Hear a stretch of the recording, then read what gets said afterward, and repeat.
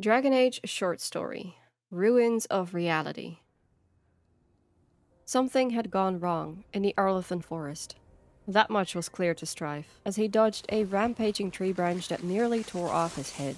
The leaves solidified into serrated blades, so he nicked an ear to avoid losing his skull. But the pain wasn't what bothered the silver haired elf. It wasn't even the confusion of the last three days he'd spent lost in these woods, confidently hiking north only to discover he'd been headed south, or the fact that he could only remember the sun rising and setting once, or the bewildering realization that his time worn, always reliable map of the Arlathan Forest, a map that detailed every hidden trail, cave, and elven ruin, could no longer be trusted. A ravine that once took an hour to hike now took five. Somehow, the landscape itself had stretched, transformed. Not even the murderous branch alarmed him all that much. He dealt with Sylvans before, trees possessed by rage demons, and they weren't the problem. That honor belonged to the inexplicable sight darting into view. Himself.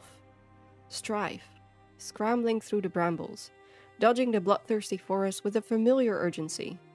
Another him.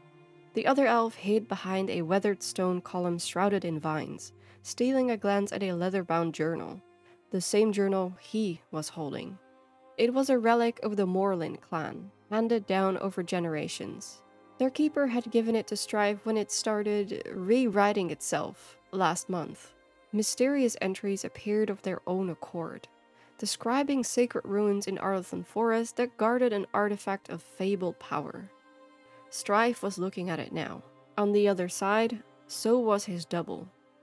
Both transfixed by a statue of elven goddess Ghilan'nain holding a crystal halla figurine, exactly as the journal described. What now? was all he could think to ask the other him. He didn't get an answer.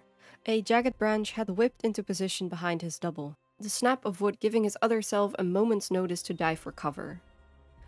And that's when Strife understood he was about to suffer the same fate. Like some bizarre deja vu, a branch cracked behind him just as a razor sharp branch nearly impaled him. He's not real, a voice growled nearby. Like a mirage or an echo. Strife spun around to see a wolf sizzling with magical energy. When the glow faded, Irelin, his shape-shifting elf companion, stood in its place. Happened to me yesterday. Saw a pack of wolves. Turned out they were all me. What? I saw you an hour ago.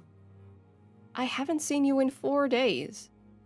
Both elves stared at one another with a shared sense of dread. This was ancient magic at work, eons old. Quick, before it fades, go left! Strife ran left, trusting she had a plan. In mirror like fashion, so did his echo, drawing the attention of the murderous Sylvans. Apparently, the plan was to act as a lure. I'm bait! Strife complained loudly. You've got a spare! I'll meet you back at camp! Irelin shouted as she launched into the air, shape-shifting into an enormous eagle. As the strifes drew the attention of the merciless trees, Irelin swooped in and snagged the figurine with her talons, tearing it from Ghilan'nain's grip. The statue didn't let go easily, but neither did Irelin. With an angry squawk, she yanked the prize free and disappeared into the sky. The other Strife vanished. The Sylvans fell silent. The spell was broken. But Strife knew an omen when he saw one. Something had gone wrong in Arlathan Forest.